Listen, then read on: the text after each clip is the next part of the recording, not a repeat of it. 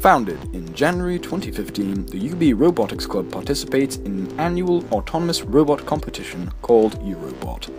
After building two competition robots from scratch each year, the club has won third place in two consecutive national finals and proceeded to the international finals in Paris in 2016.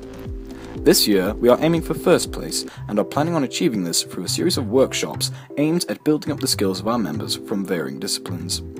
With the help of the Hands Up Alumni Fund, these workshops will be able to purchase the necessary equipment and electronic components for our members to gain valuable knowledge that can be used to further their education.